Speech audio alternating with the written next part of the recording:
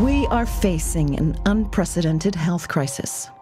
British consultant cardiologist and public health campaigner Dr. Aseem Malhotra will be highlighting the major root causes behind it. An in depth talk about the two industries that are drivers of misinformation and ill health big food and big pharma. So, what's happened is you've had flawed science, and then you've had a huge industry that's developed around that. Both food industry have made money from that flawed science. We've got a drug industry mm-hmm. trillion dollar industry of statins, which are mm-hmm. cholesterol lowering drugs, right? And then that is a barrier to change as well, because even when new science emerges, it takes a long time before it's accepted, mm-hmm. because there are very powerful industries that are making money from essentially what is now fraud. Mm-hmm. I want to say fraud is deliberate deception in order to make money, and that's the big problem we have in healthcare now. 50% of all the calories consumed in the Western diet now, at least 50%, is 60% in America, is ultra processed food. Mm. Extraordinary, isn't it? Just like tobacco, you know, got us hooked on cigarettes. But actually, the media would be doing a much greater service to the public if, on a daily basis, they would tell the public that the third most common cause of death after heart disease and cancer globally is prescribed medications, what your doctor prescribes for you. No drug is completely safe. If you look at traditional vaccines, the published literature tells us the risk of a serious adverse event is one in a million. Nothing is completely safe. No drug is completely safe. Mm-hmm. But when you look at all of those things, traditional vaccines are still the safest. I was one of the first to have two doses of the Pfizer vaccine. Part of the reason for that was uh, my father, who had an exaggerated fear from COVID, said, Okay, dad, I'll have it. But I also had it under the impression that I would protect my patients. You know, for us as doctors, I've had so many vaccines in my life, but protecting my patients was more important. So I had two doses it was a trust issue. Mm-hmm. It was a kind of, I don't feel quite right, I want to wait and see. That was very rational and, and, and reasonable to do. I couldn't conceive, Ellen, at all, at all, of the possibility of any harm. At all. Yeah. Not at all. Because of my knowledge of traditional vaccines. A whistleblower from a prestigious institution in England called me, a cardiologist, to tell me that a group of researchers had accidentally discovered, with the use of very specialized heart imaging modalities, that the vaccinated people with mRNA vaccines were having inflammation of the arteries and it wasn't there in the unvaccinated. And I thought, oh.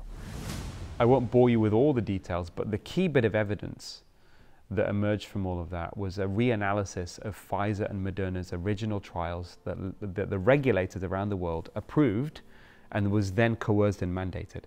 And what they found, independent researchers with credibility published in the journal Vaccine, from the very beginning, you are more likely to suffer a serious side effect, hospitalization, disability, life changing event from the vaccine than you were to be hospitalized with COVID. The cure is worse than the disease, but what it means is it should never have been likely, never been approved for a single human in the first place. And now we are picking up the pieces. What I've been doing with vaccine injuries is I've been patients, a lot of these is I get them on a healthy lifestyle and they tend to feel better. A lot of their symptoms improve that are similar to long COVID, fatigue and all that kind of stuff. What are you eating? Are you getting enough sleep? Are you being reasonably active? Are you controlling your stress? Mm-hmm. Are you meditating every day yeah. for 20 to 30 minutes? I mean, these things are really powerful. Mm-hmm. So that's what people need to focus on.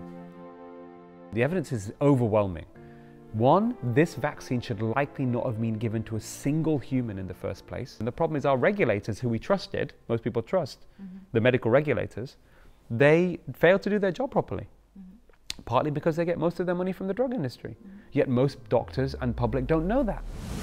So many people who are willfully blind around the vaccine, don't want to talk about it, are living in a delusion mm-hmm. that this vaccine is safe and effective. Yeah. It's not safe, it's definitely not effective.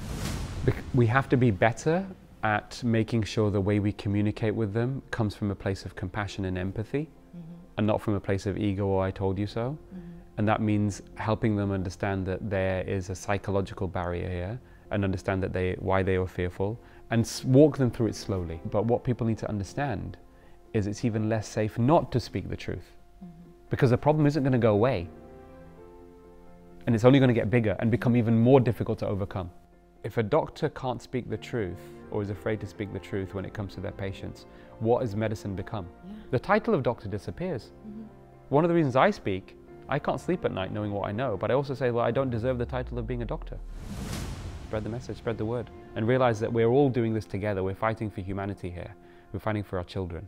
And I think we're at a tipping point. This is where the bubble, this corporate tyrannical bubble, is about to burst.